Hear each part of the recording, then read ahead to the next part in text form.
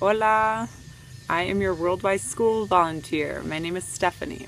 I'm a Peace Corps volunteer serving in Paraguay, um, which is a beautiful country that is bilingual. They speak Spanish and Guarani. And um, I'll be explaining a lot about this country in the following slideshow. I also talk a little bit about myself before I became a Peace Corps volunteer and some information about Peace Corps in general. I hope you guys enjoy it. Um, and we will be talking soon, or as they say in Guarani,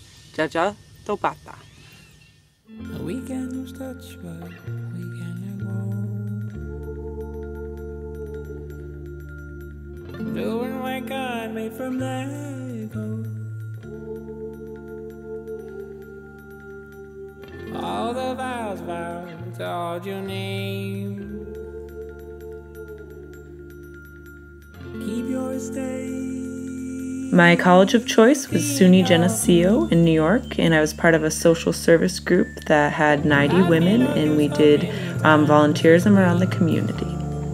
I then studied abroad in Peru, um, where I got to stay with a host family who I loved dearly and hope to visit again soon.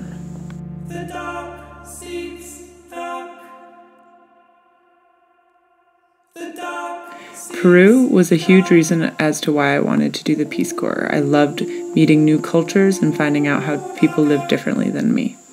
Also, my psychology majors showed me that I wanted to help people and work one on one with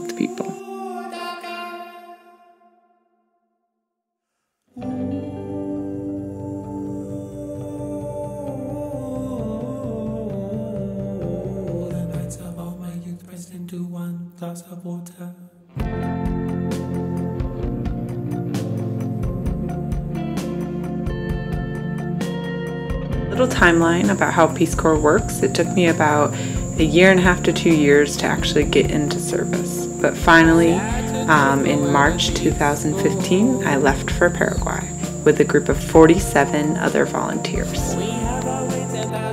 As you can tell, Paraguay is a landlocked country in South America. Its population is made up of Spanish speakers and the native language of Guarani. The majority of the people here speak Guarani, which is unique when it comes to a native language like that. Once you get into service, um, you have three months of training, and during that training, you live with a host family. I had a host family that had three children, um, two grandparents, and two daughters with their husbands um, living in one house. And they were extremely wonderful people and helped me out a lot. And this little baby is Marcelo, and I loved him and I miss him every day. During training, we learned about health topics because we are the health volunteers. Um, we also learned about trash management and we made an eco bench, and each one of those plastic bottles had two months worth of inorganic trash inside of it.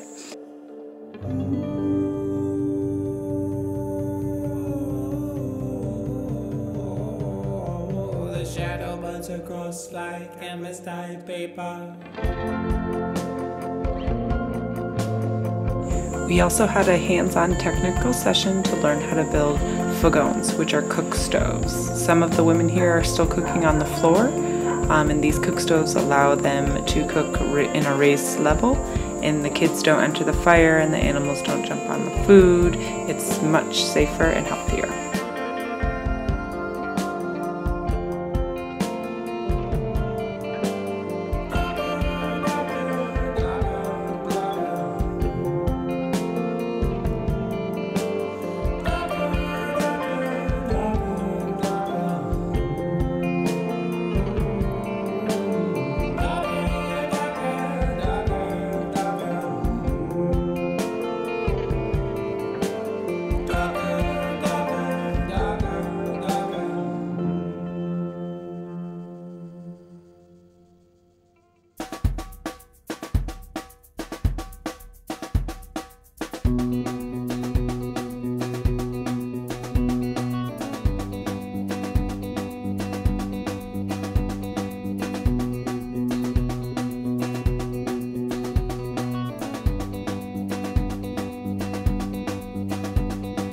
Something good.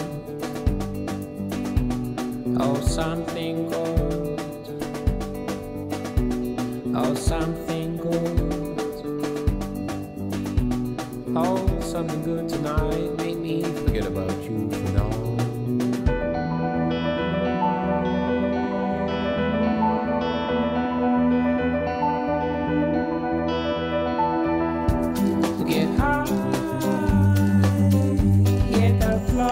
Here in Paraguay, they eat a special bread called chipa, and they have many forms of it, but it's all made from the same ingredients.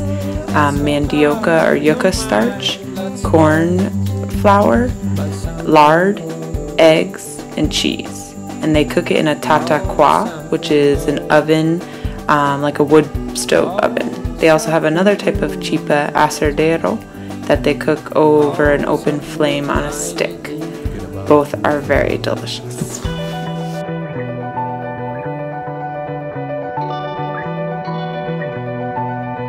Here in Paraguay, they eat a lot of meat and they use every part of the animal.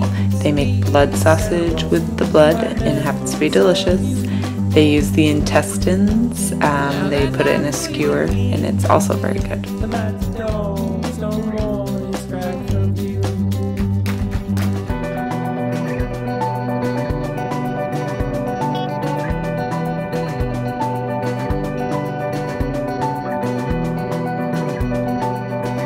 Paraguayans are very laid back and relaxed, and they aren't quite as uptight as us in the States. And they do these beautiful artworks, Nanduti, and they have beautiful dances in their Alpoi dresses.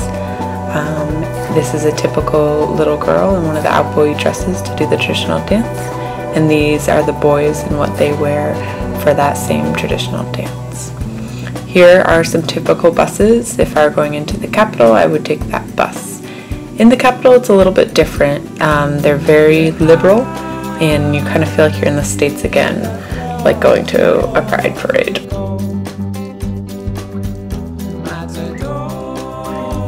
Our last day all together in training before we went to our sites.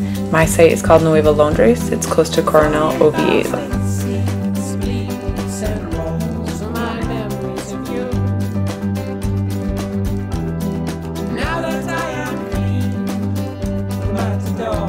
For the first three months in our site, we live with a host family again. This lady is my host mom, and this is her house. Um, after the three months, we get to move into our own houses. This bright green house is the one I get to move into, and it's right next door to my host mom.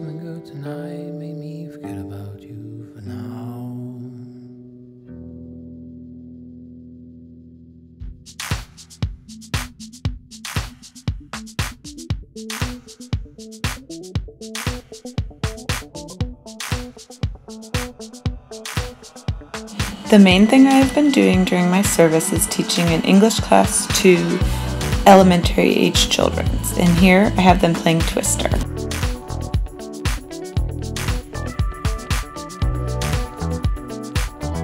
Close to me in site, I have a volunteer that's part of the agriculture sector. Her name is Carla. She came to my site and helped me do a He for She campaign. This is the doctor who requested me for the community, and I go to the health post and I work with her there, giving Charlas about nutrition and portion sizes.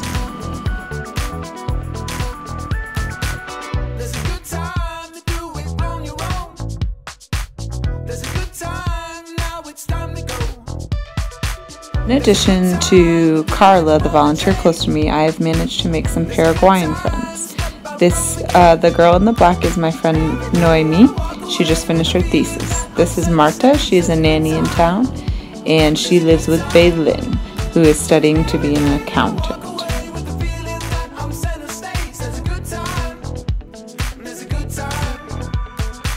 Some other activities that I have done in site is held an environmental camp with some local volunteers and showed the kids how to make recycled art, why it's important to um, keep trash out of your rivers and streams and fields. We gave Charlas um, about the planet and about the soil and played games that were relevant to trash management and overall had a very good time with some very hardworking kids and volunteers. Sometimes we get the opportunity to travel to other volunteer sites and see what they're doing in site and see what their sites look like. Wow, that was a lot of information. I hope you guys enjoyed it. Paraguay has a lot to offer, and I love it here. I am so excited to share its culture and its beauty with you all. Keep an eye out for the next video. I'll talk to you soon.